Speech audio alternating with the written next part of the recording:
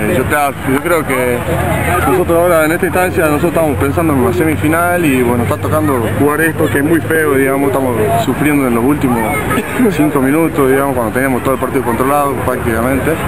Eh, Salta tuvo muchos altos y bajos y bueno, así esto, el argentino es muy corto, digamos. Son tres partidos, si ganás está entre los mejores y si perdés está entre los peores. Y gracias a Dios Salta mantuvo el nivel eh, que tiene que tener, estando en la A. Y, bueno, para el año que viene capaz que será, se nos dará. Siguen el año que viene van a tener lo mismo, dos partidos afuera y uno, uno local. Eh, hay que trabajar más en los partidos afuera. será, yo creo que Salta tiene un muy buen equipo, a veces se gana, a veces se pierde, esto es un juego y bueno, hay que poner la carita cuando, se, cuando se pierde y cuando se gana eh, hay que disfrutar. Eh, la sensación con la cual te termina este argentino, eh, ¿cómo es? Y por un lado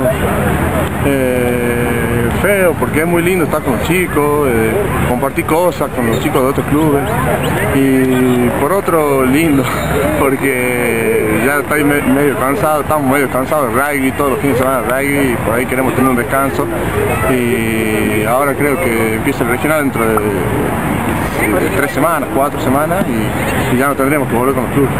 Eh, se viene una gira y la expectativa de la gira por ser la primera del seleccionado y te tiene a vos entre, entre las personas que irían a Canadá.